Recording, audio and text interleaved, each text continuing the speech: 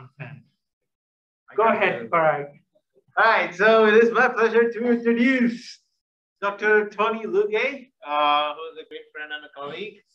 And he started the same year I did. And we've worked together on a few things. We always, at least we've talked about working together on a lot of things. We've never worked together on it. we did. No, we haven't published, but yeah. Uh, but yeah, amazing research publications on the physics of viruses. I'll let him take it. Okay, thank you, Parag. Then I'll, if everybody's okay, I'll take the mask off so maybe you can hear me a little bit better. So thank you, everybody. Pleasure to be in person. This is a big, big, big improvement this year. So I'll tell you a little bit um, on the latest updates on a little bit the biophysics and evolution of viruses. And just to make it, why would this matter? Think a little bit on where we are right now. So we have a virus that it's about, that stores its information in 30,000 letters, all right? And these 30,000 letters in its genome encodes for about 30 words. 30 words is about two sentences. So we have a creature that with two sentences, as soon as it changes a few of the letters on those sentences, was able to jump from infecting bats to infecting humans and causing COVID-19. And as we have been chasing it, it's been changing little by little. And we've always been behind because the physical changes that it has produced on the surface of the virus have been able to keep moving forward and avoiding our strategies. So clearly, and this is an empirical fact, we yet cannot forecast very well what can happen tomorrow with pretty much any virus that is on the world. And since viruses are the most abundant thing in the planet, that's a little bit worrisome. So what I'm gonna show a little bit is our approach on how to have a framework that we can maybe get a little bit ahead of that. Now, the downside of that framework for prediction of physical properties of viruses is we're not gonna be able to solve coronavirus anytime soon because the viruses that I will be talking are have a little bit higher symmetry, we'll see that. The upside of it is that it's pretty much 90% of the viruses in the world. So down the line, we might be able to cover a fair amount. It's just that some of the usual suspects that we interact with may still be off the book. Let me see if this.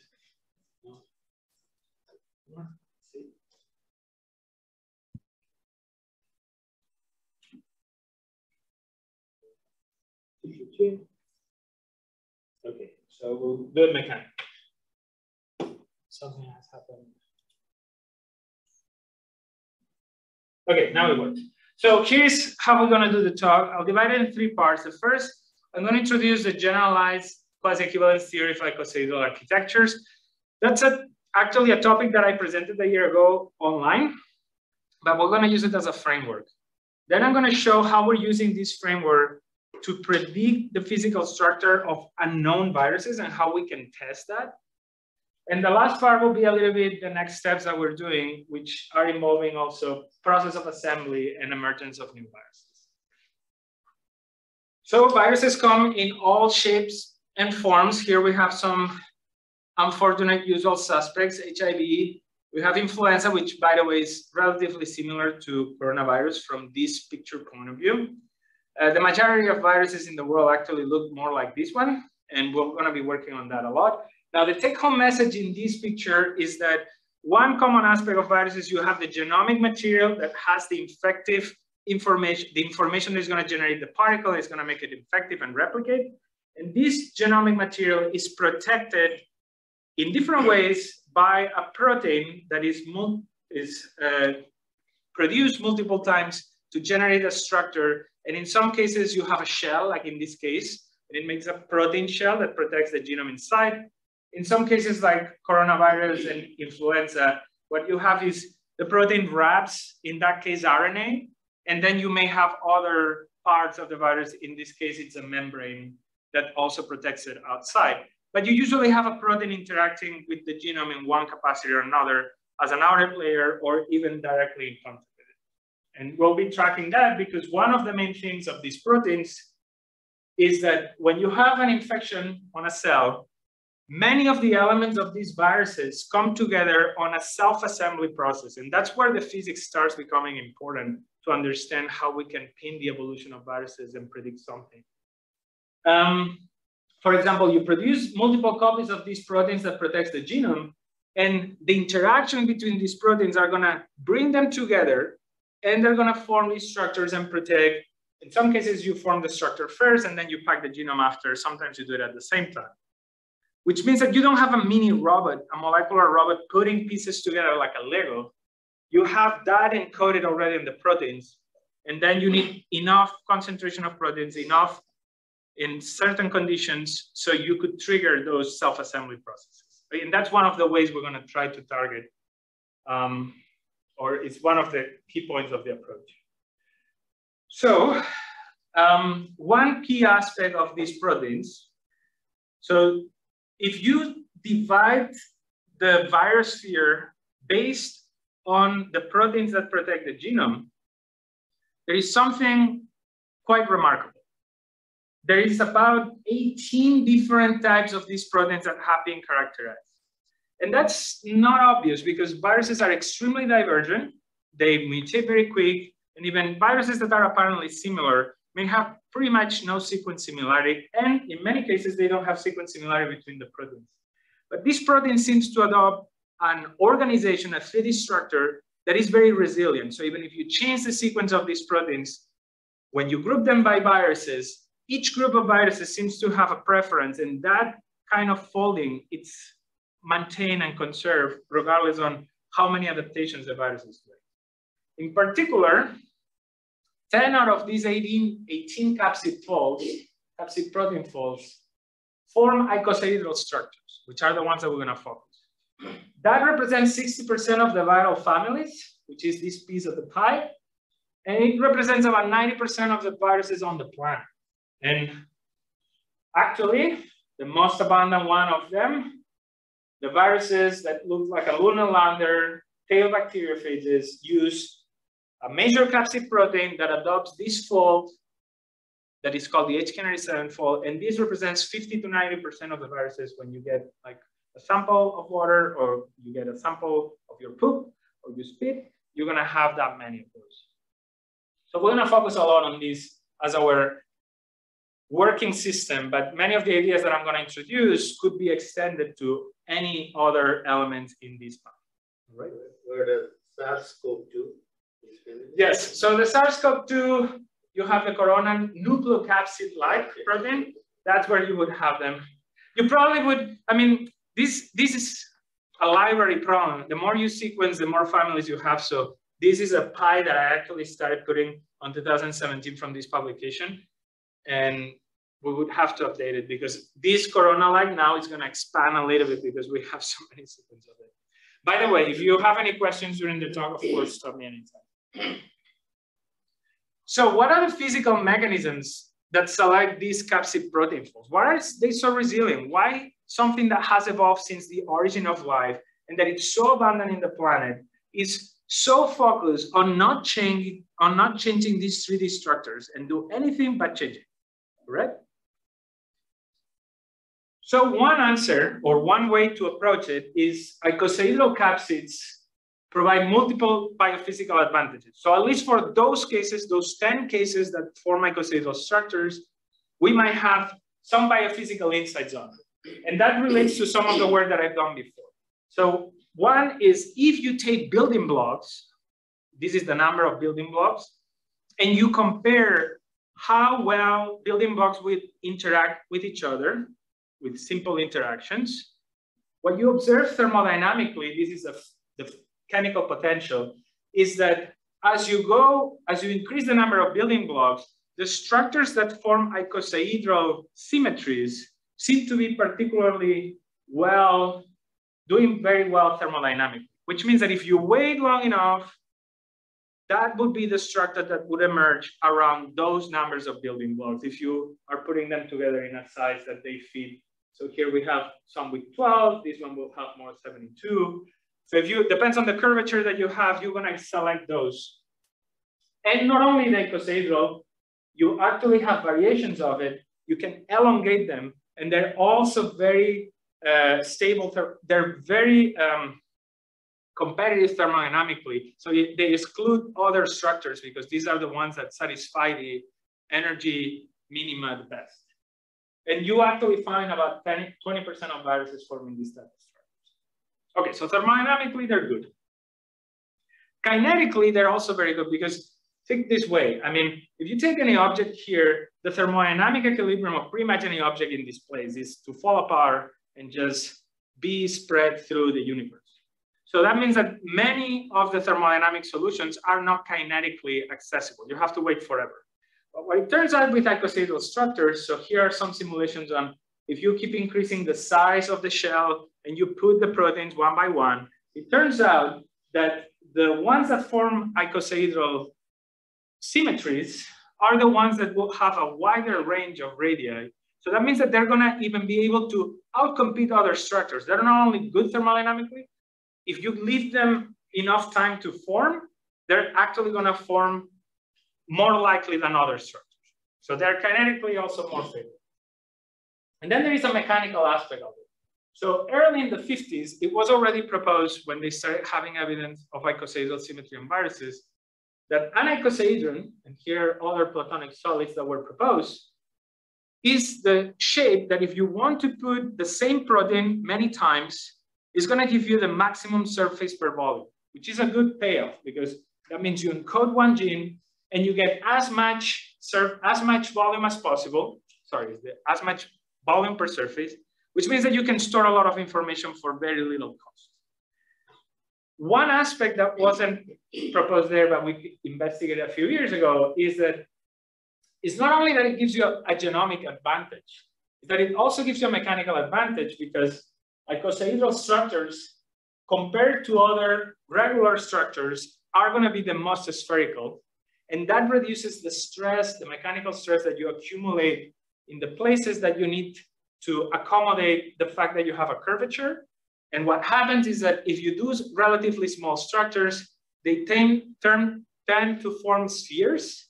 And as they get bigger, they flatten and make these more flattened icosahedral shapes. If you try to do this with these other structures, as you go bigger, you're gonna accumulate so much stress that usually they just fall apart. So that means that these particular the icosahedral structures help viruses to be able to explore, or at least that would be the mechanical inference, many different sizes because they can actually remain stable as you grow. All right? Yes. Try these structures back to the protein fold that you were showing in the previous one because you're showing spheres here. And I like, yeah, so let me pay Parag for that question because that's exactly what I was going to say now. Bottom line of this, online of what Parag was saying, this tells us why may be so prevalent that we have icosahedral viruses around in the world. They seem to do very well in different aspects, but doesn't tell us why would you have 10 protein types that do that? Why, why do you have 10? Why wouldn't you have 1,000? If, if viruses are so eager to be efficient, replicating, why wouldn't you just choose the best one? So that's a little bit where it enters the geometry of it. No? Yes. always spherical or flat? Can it be like a ring, like red, red blood cells kind of thing? So these ones that do icosahedral yes. structures are on the range between purely spherical and very flat. And sometimes you, you have in between, you have a sphericities, but you don't, you're not gonna see them what it's called pleomorphic. So when you look at influenza or stomatitis virus, you sometimes have even protein shells that seem a little bit like the form, those don't usually have such a strong high result, high symmetry. They're a little bit more fluid or close to fluid. So that's why they don't get that. I mean, those would get those shapes, the ones that are pleomorphic, but not these ones. They can get elongated, but they would be like looking like rigidly elongated, not something that will change shape. So what happens is in the 50s, and you have to understand, every time you have a new technique, you look at the world in a different way. In the 30s, we have electron microscopy. Oh, that's how viruses look like, some shape that looks maybe like a ball, like a soccer ball, not even that, like something that looks like a sphere or an or a tube. In the 50s, you have X-ray, and you start getting evidence that there is icosahedral symmetry in many of these things that were infecting Paul viruses. And they said, hmm, icosahedral symmetry, you need 60 proteins because you have an icosahedron, 20 triangles. The protein is asymmetric. If I plug three of these proteins in one face, I have three proteins there, 20 faces, 60 proteins. And then you can recover the symmetry, you're good. What happens? First virus that gets reconstructed, which X-ray has 180 proteins. So they're like, okay, Caspar and Klug introduced the cl classic quasi-equivalence theory. And they were very clever. They said, okay, let's skin this problem in this way. Why, if instead of thinking on 3D, we think about the possible ways you can organize proteins on a plane and then wrap this structure on a 3D surface, and that at least will give us a way to count how many ways maybe we can build icosahedral structures. So that's what you have here. They said, okay, let's put the proteins on an hexagonal lattice, which will optimize the interactions between the proteins.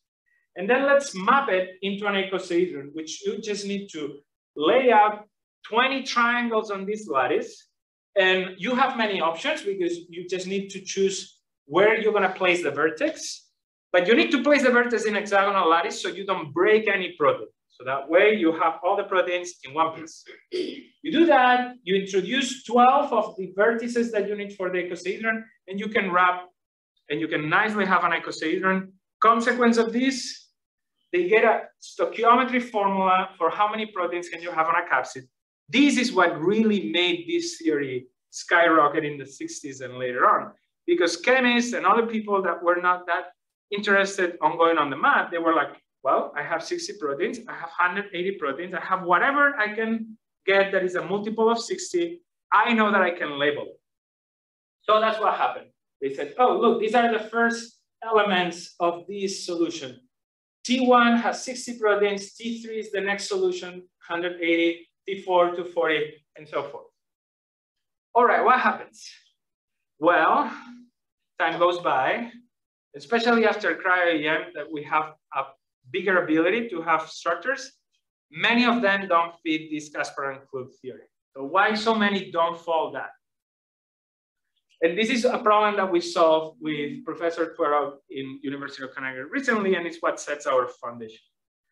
The point is that if you want to build an icosahedron, clearly it seems that you need this hexagonal lattice where you're gonna introduce the vertices, the pentamers that are gonna help you close it. But you don't need to do it just with one hexagonal lattice. You can look at any lattice that embeds an hexagonal sublattice, and you'll be able to do the same. So among all possible mathematical lattices that have an embedded hexagonal sublattice, you have four that have a particularly interesting property.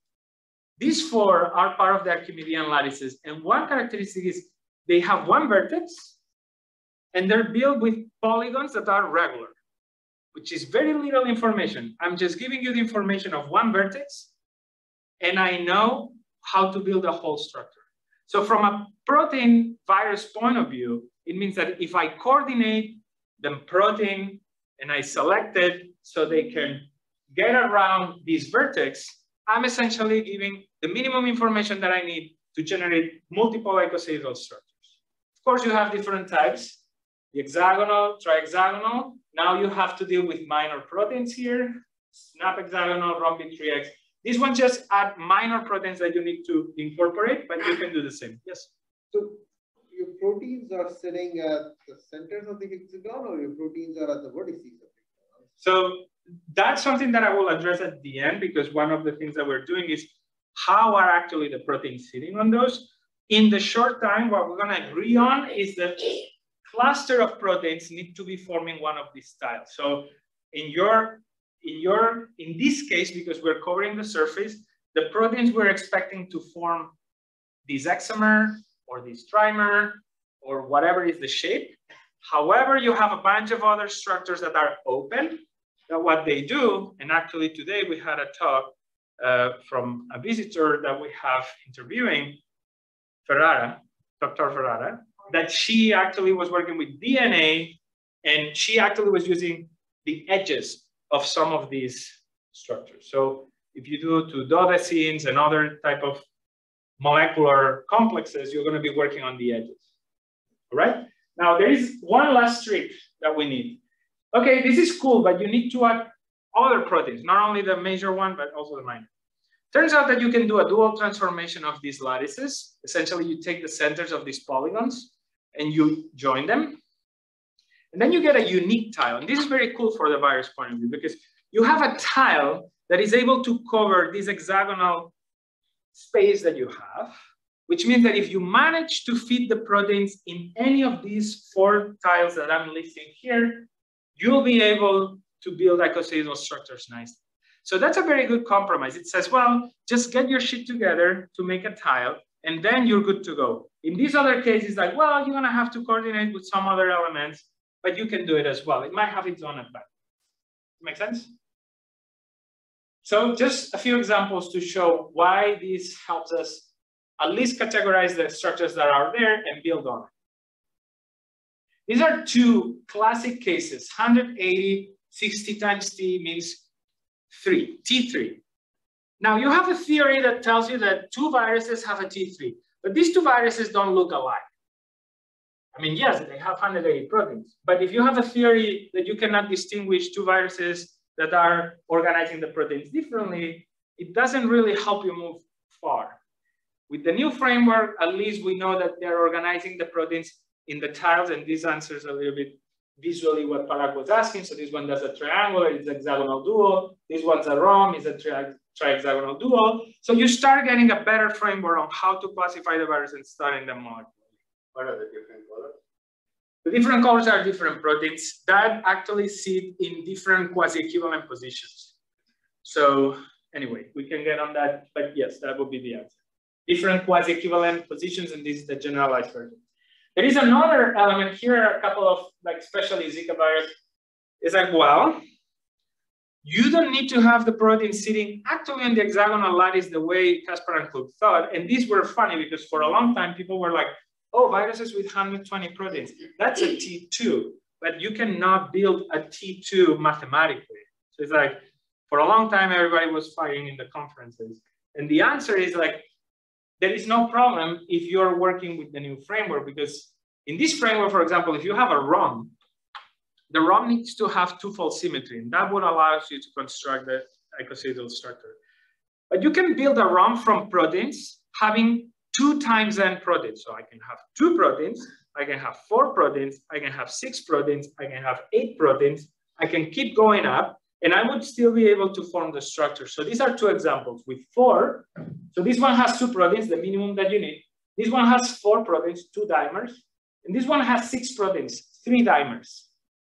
Now, why wouldn't you go higher on this? Well, at some point you're so big that you're not gonna be able to assemble the structure efficiently. You're gonna wait, you're gonna be too heavy and your diffusion is gonna be so slow that you're not gonna be able to use the thermal energy that you have inside your host to get close enough with another protein. So there is a certain physical limit and that's where I'm going.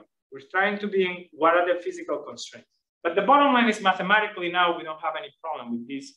They're called non-quasi-equivalent structures, but they fall nicely on our new.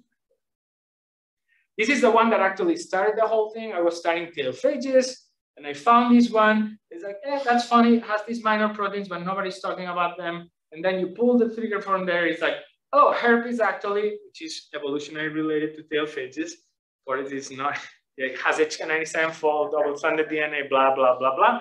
Bottom line, you have a whole family of viruses with HK97 fold that seems to have a strong preference or at least engage a lot on these tri-hexagonal lattice that had not been really explored before. Bottom line is, oh, well, that gives us a little bit what Parag was asking before. Now we have kind of at least a guide.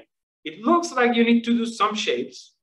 Based on those shapes, you're gonna be able to build icosahedral structures. So you put one and one together and say, could it be that if you have different folds, you might be building your icosahedral structure differently? Sorry.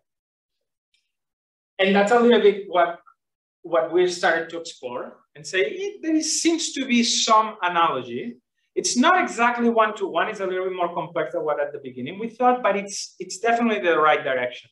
There is another element into it, it looks like once you have a certain fold and you're organizing things in one way, you usually have a very specific way of either packing or releasing your genome to the host, which means that there is a very strong connection between how are you going to assemble your capsid and pack your genome in? Are you going to co-assemble? Are you going to assemble afterwards? And how are you going to release that genome? And that seems to be also intimately related to the selection of this fold, which makes sense. So in certain ways, you have to build a puzzle, a 3D puzzle, and put those things together. That's constraining the shape that you're gonna have.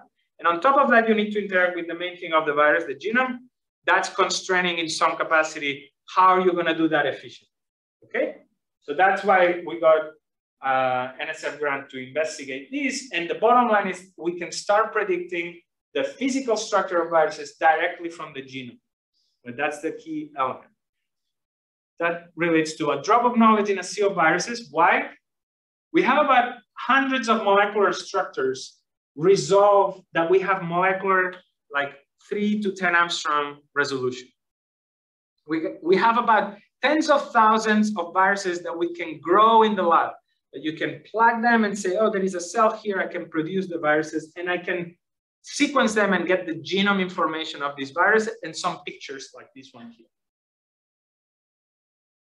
Through sequencing technologies, now you can assess that in the world, actually, there are many more viruses, and you have evidence, or we have evidence of millions of different types of viruses because we can read their sequences and say, oh, this shit doesn't look like what we have here. They look much different. That thing is there.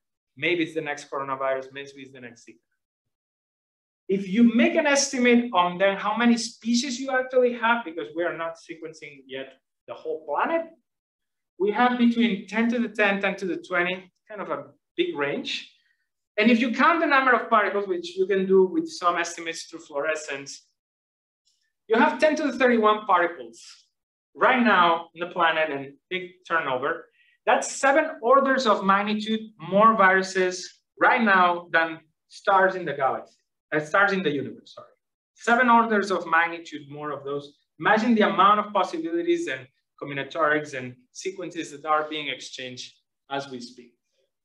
So here's the trick. How do we get access to these unknowns? Well, it would be great if we can at least predict the structure from the genomic information because that's what we can right now access the most. So how do we do that?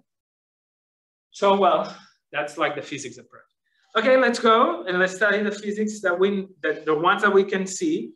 Let's see if we have some principles there that we can maybe think that can hold together so we can expand it and start predicting things that we don't know. So this is one of the case study problems that we're doing on that. The HK97 fold form shells that pack DNA and make viruses, including tailphages, herpes, archaea tail viruses. And they funny enough, don't start at T1, the smallest one possible. They started T4. That's the one that we have structural evidence about. It's also the only fold that we know that makes protein compartments in bacteria, in cells actually, bacteria and archaea, and that it forms a very similar structure to the virus. Funny enough, it makes the smaller ones. So we don't know really what's the origin It started like this and went to a virus, or it started a virus and it went down. But the bottom line is that HK97 fold is capable of making these smaller capsids. So then the question is, and here we have, this is the HK97 fold. There is an alpha domain that goes inside this cluster. And here you have the same alpha domain. You have a peripheral domain that gets placed here in the interstace. And you can see that they also nicely fit into the size in the same size, they're pretty much the same, both viruses and the encapsulins, these molecular reactors. Uh, but we're missing these ones on the viruses. Now, the question is, do they exist among viruses? Here we have a good target. Now it's like, okay, we have a lot of evidence that these can build the structures. So are those viruses out there and we have not found them? That's the question. Yes. But if you look at that, and then you had the, initially you had those energy curves. Uh-huh. Right? Won't those fall higher up on those energy curves? And so then the energy argument plays a bigger role. Yes. So that's a, so what Parag, let me see, is it, technically, thermodynamically, these ones are not as favorable as these. One way to see it is these ones are closer to a plane where you have as many proteins coordinated with each other. You have six neighbors. So that gives you as much interaction energy as possible. So thermodynamically bigger from a physics point of view, you'll go bigger just because that's where you have better chemical potential if you have enough proteins and you make it accessible. So that's true. Kinetically, however, and combinatorically, and you can think entropically, it's very likely that you're gonna start here because these structures actually are much more likely to make the wrong angle and still form. While these structures, as soon as you make a small mistake in the assembly process, it's like, you can think it this way. If I shoot there and I make a small angle, I'm gonna maybe deviate a little bit. If I'm shooting a kilometer away from here and I make, I make the, the same mistake, the bullet is gonna go like farther on the right or on the left, depends on where I'm pointing. So that's a little bit the same problem with the capsids. As soon as you make a small mistake, you're gonna shoot for a radius that you're not expecting. So it's much harder to control. You need to have scaffolding proteins and you need to start paying on other elements that will guarantee that you're gonna make the right structure. Does that make sense? So there is some trade-offs there. Thermodynamically it favors, kinetically you start getting in trouble and trouble. How do we find them? Or how do we propose that we can find them and test it? So we study the structures. We use tools like Chimera. We can analyze the radii, the surface, the volumes. And here's what we found when we studied 23 of these structures that we have in high resolution. The genome density of these viruses is relatively conserved. Good, that we knew. So it was just quality control. About 0.5 base pairs per nanometer cube. That's the highest density of DNA that you're gonna find in any organ. So it's pretty cool that these viruses are actually so good storing information. The other element that we found that was conserved is that if you look at the external surface of the major capsid protein that get exposed on the capsid, that seems to be conserved across different sizes. So once you have constant surface, constant density, you can propose a scaling model and say, okay, so I have a genome. The genome times the density will give me a volume. The volume, because I have a spherical, quasi-spherical structure, will give me the size. And since the surface of the protein, and I know that they coordinate on an icosahedron, that's gonna give me a relationship with the T number, which is three halves. That's the scaling that you have. Volume per surface. You do the math, I mean, you do the empirical analysis, the black circles are the structures that we analyze. Of course, they don't go below T4. And we obtain an exponent of 1.47 and I developed the theory a little bit further to justify also why you get this value here and make things check, but I'm not gonna go over that today. The bottom line, and this is something that if you're doing machine learning, you need to be careful. Statistical learning, machine learning, a linear regression is one of the first approaches you can do. If you do inference, what you have in between here, you might be very confident about it. What you have as, as an extrapolation, there you need to be a little bit more careful. In our case, we know what we're being held accountable. We're saying if the genome remains constant, the genome density, if the external surface of the protein remains constant, here is where we expect to find these structures. So at least we have how big the genome length would be, and we also have the sizes. So that means that we have empirical things, I'm sorry, predictions that are empirically measurable either on genome length, so these are the different structures that we're missing, or on capsid size. In parentheses, you have the 95% confidence. All right, so we know where to shoot. How do we try to find them empirically? So we did it two ways. You have more ways, but that's the two ways that we explore. One is you go on the viruses that have been isolated because those you can grow, you can sequence, and you have the genome. So once you identify those that are on the group that we're interested, teophages that do this HK97 fold, we can investigate their genome lengths and identify where do they usually form the structure. And when you apply the model, because these are 3,348 and we started with 23, all right? These are the ones that we at most have a picture, but not much molecular information. You can see that the majority form T7s. That's not a surprise, we knew that.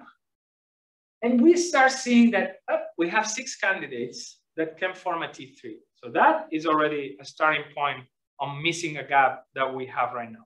We only have up to T4. Now we can shoot for six isolated ones that we can actually grow. We can put in the cryo-electron microscopy and try to see that it forms the right structure. We also found that, yeah, you have a lot of bigger ones that are not very well characterized, but you see them when you look at the isolate. So there is other gaps that we have in our knowledge because we haven't produced as many structures on that end. Not gonna enter there. But yeah, I want to say, yeah, still missing a bunch there. So how do we find that extra piece? Or how can we find it? Well, let's go to the sequences that are out there that we cannot even grow. And I was lucky enough that a former PhD student, well, now Dr. Bauer, um, moved to the NCBI in NIH in DC, Bethesda. And he was working with a bunch, he was putting together a bunch of sequences that people had done, had sequenced from the human gut. And then he was assembling all the sequences to see if there were any viruses there. And I say, hey, Sean, can I have a look at your data and see if we can find some of these creatures that I'm interested on? He's like, okay, but you'll get me some new proteins. Good.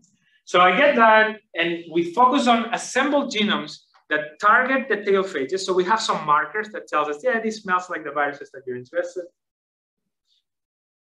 And then we have direct terminal repeats. That is a trick that we use bioinformatically to sometimes, it's an assumption that tells you that your genome might be complete, all right? Because some viruses have these direct terminal repeats at the end of their genome, and that gives you a signal that maybe that is complete, which means that we're biased because not all viruses do that, but at least we have something to fish on. So you do the same spectral analysis on the genome length, you have a density distribution, similar picture, there is an extra peak here, and the funny, the good thing for us is now we have evidence of even smaller ones. So before we got it to three, now we have many threes, and now we're starting to get these small ones that are missing. And remember, this might hold the key of, this is one of the most ancient viruses, I didn't mention that, one of the most ancient viruses in the planet. And it means that it might hold a lot of information about how life evolved because it's right on the edge of making protein shells for bacteria and archaea and making viruses. So it's actually a very important niche to find these structures and see what they do. Now, the funny thing is we got this strong signal that we didn't see among isolates around T12. So it's also another way to generate what structures are actually out there that we're actually missing in our in our like libraries. And the funny thing is many people were pointing out to a new type of virus that is actually one of the most frequent among humans, that is phage, that actually was first discovered here in SDSU. And the structural analysis points to the same direction. It says, oh, there is a bunch of these viruses that were not known before that seem to be actually very abundant among humans. So go big or go home. No, it's like, well, that's the human. Let's go to the rest of the planet. So I gave a call to these two folks, Simon Wu and Stephen Neifach at the Joint Genome Institute, because they're putting together sequences across the world and actually are trying to reduce the bias from the medical side of it. We did the same analysis, take the genome, take the data from different environments, look at those that are circular through the terminal repeats, make sure that you have some markers that you think that you're targeting the right virus and do the spectral analysis on the genome length. And boom, finally, we find candidates of T1. This is the one that was missing that we couldn't find anywhere else. So that's just the way we're approaching it. And now here's the challenge. Now it's like, okay, among isolates, you can grow it. But among these ones, how can you actually find them, no? And here is what we're trying to do. And this is a collaboration with Simon White at the University of Connecticut. He has a cryo-electron microscopy. He loves the structures, but to see them actually. And what we're trying to do is let's pick the isolates. That's easy because you can grow it. But let's pick also these small candidates. And they're small enough that you can generate a plasmid, plug it inside a bacteria, grow it inside the bacteria, even if it's not the right host. You don't care about making it infective. You're just trying to make sure that you can produce the proteins and assemble the capsid. And that's a little bit the strategy that we're following. we have some preliminary results that at least we can produce the proteins, but that's the direction that we're going. Another direction that we're not going to discuss today is we're actually learning how to assemble these proteins in vitro, so you don't even need the bacteria whatsoever, because the structures are so small that we actually have a good chance to produce them in different ways. And that's the way we're going to validate all these predictions that I'm showing. Now, here's the challenge. I'm relying on viruses that we can kind of circularize. That means that they're kind of complete. But the majority of viruses that we're having evidence out there, they only have pieces of the genome. So we cannot rely on just having the full genome. We need to go a little bit further. So how do we do that? And this is a recent paper. Diana Lee is a candidate, PhD candidate in the program. So what we did is let's take the viruses that we know that at least are isolated. We have their genomes, good. We can identify in some of them the major capsid proteins bioinformatically, or sometimes you have experiments. We did it for 635. We apply our model, so we have the architecture predicted, and now we have the protein. Okay, I missed this part. We focus on the protein that makes the capsid because you say, well, if you're planning to predict an architecture, let's focus on the building No? So if I cannot have the whole genome, at least I can focus on the thing that it's building it, and maybe I can get some information out of it. This protein, after all, is selected to make these architectures. So she generates a library, and now she does some machine learning. No, other piece of the story. We have no clue how this protein is able to do the different architectures yet. We're working on that. So we did some proximity matrix, meaning similarity. That's good. It gives you about 75% accuracy with this data set. The downside of it, the proteins diverge so quick that many of the viruses that you would find out there, you would have no similarity to compare to. So then we did another approach that is amino acid composition. So you count the frequency of amino acids in the protein you take the length of the protein and the isoelectric point. So you have 22 features. And then you train, in this case, we did random forest because it's a cheap and quick solution for most of these problems until you have millions of data that you can do much um, neural nets or other approaches. So we did that and we got 75% accurate predicting directly from the major capsid protein. Of course, not the, all the architectures are as good because we don't have them as well represented here, so we cannot train them equivalently. And we did a projection. How good are we gonna get if we were able to work on a bigger size data set? And what we predicted, it increased logarithmically. So if you give me 2,500, a library of 2,500 data points, we might be able to get 90% accurate. And actually, Diana, this was on the follow-up project, just confirmed that I think that she got 85% when she was trying this size, so it looks on the right direction. So we apply this again to show that now we can go directly to the sequences. We don't need to make them complete. We can find the protein bioinformatically. We apply our models. And now we have, for the first time, a way to monitor high throughput, whatever structures these viruses may be doing out there at any place. I mean, this is the proof of concept, 75% accuracy on the protein you know, but we had 0% before. So it's pretty good in my point of course, we don't see small ones because in this data set, we didn't have small ones. We're trying to fix that. That's part of, and we didn't see any surprise. No strong T7s, some small ones, and some jumbo phages, which actually are not even easy to see from the circularized genomes because it's very hard to get a giant genome that you put the pieces randomly together but if you have information about the protein, you might be able to say, well, there is a creature that is big. It's like seeing one, you know, like, um, I'm not gonna get the word in English, a huella. You have like, you step on something and you see, oh, there was a dinosaur here a million years ago. We can see that through the protein, right? What was that? Footprint. Footprint, Footprint yeah. That's the good thing about So we're gonna close with this quickly, not gonna say too much. The problem with these approaches is they're slightly based on physics, but they're a lot based on inference. So how can we get better? To get better, you need to put more physics in it. At least that's my approach.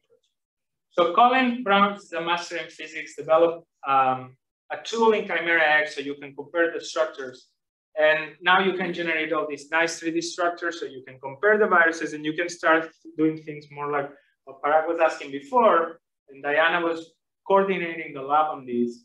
So you can start looking at how the proteins actually organize nicely on the lattice or not. And what you start seeing is that, well, first of all, this was something that we were not that aware and the people have not been that explicit. The building blocks have been for a long time, especially in the modeling community, model as bricks. You put a brick next to another and you're gonna make a shell. Turns out that when you start looking at closely, many of them seem to be forming more like scales. So you actually slide on each other and that gives you a degree of freedom that we'll see that makes the first mechanism that we have to modify the size of the virus.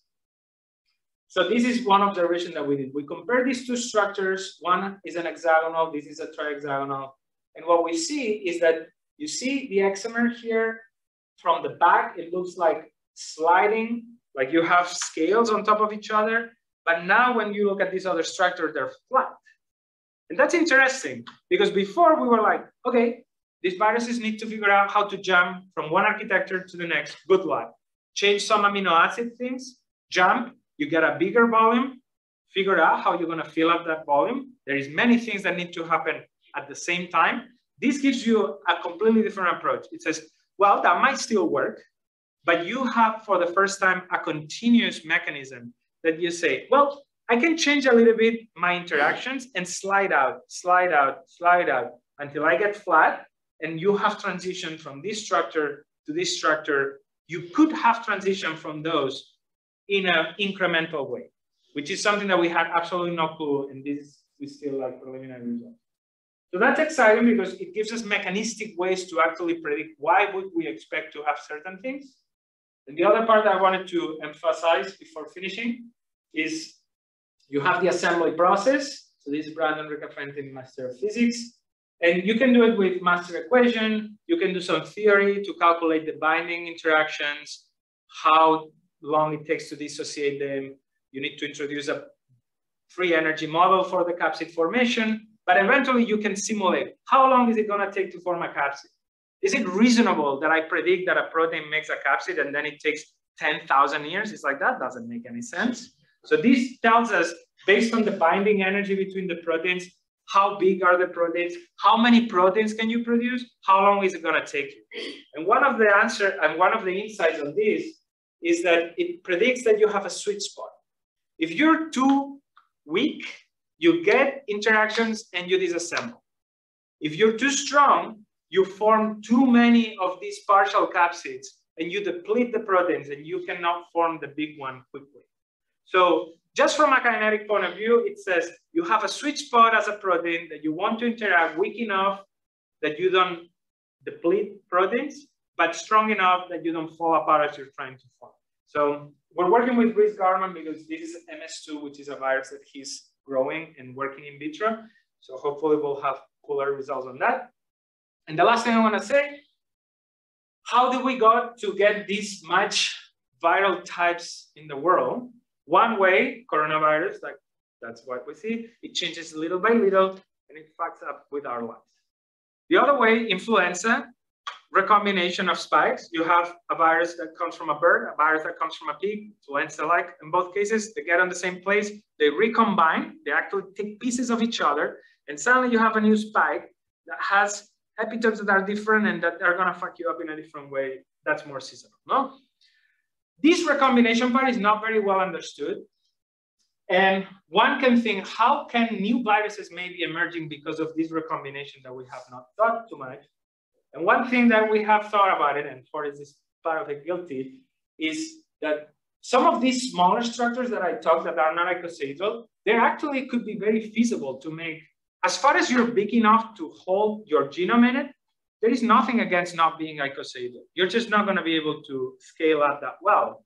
But you might still have a small protein that can make a structure that is not icosahedral, but tetrahedral or tetrahedral. And as far as it can fit its own genome, you have a generator of new viruses because it's so accessible kinetically that you might be able to just be generating them and then you can recombine them with other things And that's uh, a project that we have going with Forrest, Anka Segal, and Rob Edwards. And we do similar techniques and some of the assembly, and we have this Gordon Barrymore Foundation that we just got. And well, that just to close some of the people that I mentioned throughout the talk on the student side, and then there are other people involved in it that I have been mentioning through. We have a couple of grants supporting this. We're recruiting students and postdocs. That's an open door always. And thank you very much for your attention. I'll take any questions that you submit.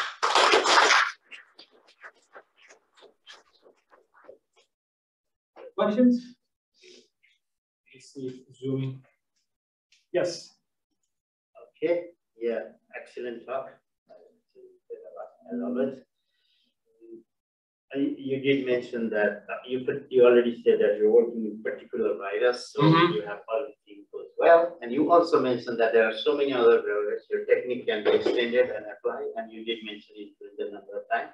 I'm just curious, in the influenza, like if you're looking for the structure of the virus, like influenza, main piece is missing here is uh, you are just consider proteins only. There's no lipid bilayers and also hydrophobicity of the part of the protein. Those all things play the huge roles in the structure of the protein mm -hmm. and also projection and those kind of Can it be extended? well, yeah. so theoretically, yes, it can be extended. You just need to be adding what are the constraints that you would expect physically. The problem is the amount of like the how easy it is to constrain the possibilities, it gets more complicated starting with the fact that the lipid bilayer is fluidic and you will, when you put the proteins, it gets a little bit more rigid, but that adds a degree, an element of degrees of freedom. And that's why it's promising because if we focus on structures that are highly symmetrical, since the majority are like that, we can do a lot. But um, yeah, it's not that easy to extend it. And then there is another issue. These tail phages are extremely diverse. You have very different structures, which means that it's a very good model system because with very little information, you can connect very different sizes. But then you have a bunch of viruses that are icosahedral that they only make like T1s and T3s, which means that the amount, the theory that you need to develop in that case need to be much more refined for you to be informative because the differences that you're going to see between the viruses are very nuanced on the structure. No? So I would say I took the one that is the easiest case. If you think about it, is I get this one right, I get 90% of the viruses in the planet right, no? But many of the concerning viruses for different reasons are um, like Ebola. It's a minor virus in terms of number, but pretty brutal. HIV, influenza, coronavirus, they're not icosahedral. So it's not that obvious how we're gonna do that jump. What is clear is that the fact that you have this protein fold so conserved, it means that you are selected there physically for so many steps. How do you fold the protein? How do you need to interact with the other proteins? The nice thing of the icosahedral structures is that it provides us a nice puzzle to constrain the shape. Now, how do you constrain your shape if you're making these bizarre structures? Now, that part, I would say, yeah, we'll do it in the next five years. okay, that sounds. Tony? Yeah. Tony? But I kind of get an order of magnitude notion of Tony? how, how many of these. Wait, wait, there is a ghost. I think it's Peter. Oh, it is I. It's a dumb question, but uh, I should have asked it much earlier, although I wasn't hooked up properly. Somebody didn't let, allow me to enter. But um, what's T? Well, that's my bad. I should have been more explicit about it. It actually relates to a question that we got before, that is the number of colors. So you can calculate T in different ways, but the, the easiest way that people thought at the beginning is your proteins in the hexagonal lattice are immediately related to each other. You put this protein here, you apply the symmetries of the lattice, and you can recover them. But as soon as you put them in the virus and they're not a T1, this protein that sits here, and this one is a T3, you will have these proteins that sit in this hexagon. You're not going to be able to apply the symmetries and recover this one here. That's why they call quasi-equivalents, because you need, in this case, three different proteins to build a structure. So the T in the classic version of the T is the number of proteins that are occupying different quasi-equivalent positions, which means I give you those proteins, three, you apply icosahedral symmetry, and you want to recover the structure. If you want to look at from a more visual point of view, it relates to the question that, that Naveen asked later about the colors. So these colors are actually related to those quasi-equivalent positions and it tells you the T number.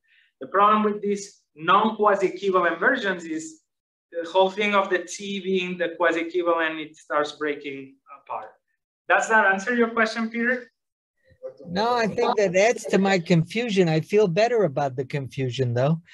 Um, All the other letters were taken. That's why. it's. Oh, T. Yes. So uh, the funny story is uh, I don't a T triangulation number. That's where the letter T comes from. No, like no, no, no. But but so now is it a well-defined quantity or isn't it? And So how? Never mind its historic origin. no, no, no. That's What the so- fuck does it mean? So it was a well-defined quantity in the 60s. And we actually, by doing the extension, we have kind of messed it up because T, what is for sure, what is well-defined is just a surface. It's telling you how much surface you have with respect to your major capsid protein.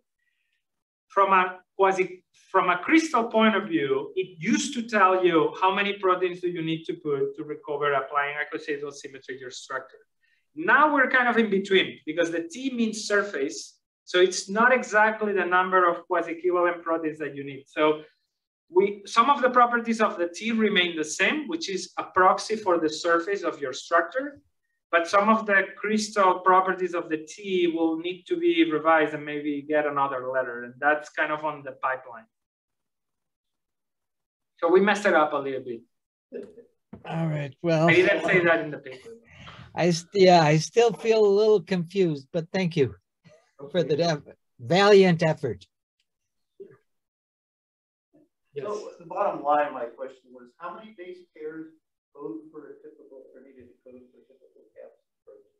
So depends on the virus, but you will have typically between 200 and 300 amino acids, which means that you're talking about 1,800 base pairs.